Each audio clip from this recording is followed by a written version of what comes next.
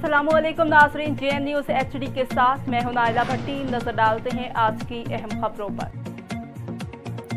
Chairman Pakistan Tehreek Insaf Imran Khan की हुकूमत के इलेक्शन से मुसलसल भागने पर तफसीली गुफ्तु भाई मुझे ये बताएँ कि जब जब से आप आए हैं पंद्रह महीने पहले तो क्या तब आपको नहीं पता था कि इलेक्शन अक्टूबर के अंदर होने हैं नेशनल इलेक्शन आपकी टर्म ख़त्म होनी है? तब आपको नहीं पता था कि ये जो सेंसस जो भी हमने करना उससे पहले करें। ये एक और इलेक्शन भागने का इन्होंने रास्ता निकाल लिया। दूसरा, दोनों पख्तूनख्वा के अंदर और पंजाब में गैर आइनी हुकूमतें चल रही हैं केयर टेकर पहले तो वो केयर टेकर है ही नहीं। केयर टेकर तो न्यूट्रल होती है।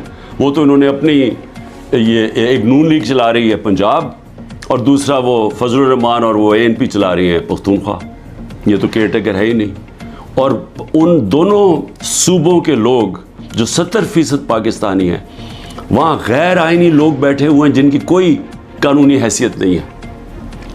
अब ये कोशिश कर रहे हैं कि मज़ीद और ये ऊपर बैठे रहें। और ये एक शोशा इसका, और ये कि जनाब हम सेंसस करवाना चाहते हैं। सिक्योरिटी का भी शोशा बना लेंगे। पंजाब की चौदह मई की इलेक्शन उन्होंने इसलिए नहीं करवाई। हमारे पास पैसे नहीं है जी। पैसे एन एस को रिश्वत देने के लिए बहुत पैसे हैं, लेकिन हमारे लिए पैसे नहीं है इलेक्शन करवाने के लिए, बीस अरब रुपया नहीं था। और अब जो मुझे नज़र आ रहा है, ये फिर कोशिश करेंगे कि किसी ना किसी तरह इससे निकलें। और लोगों को फिर ये जो रद्द अमल आना है, उसके लिए ये तैयारी कर रहे हैं।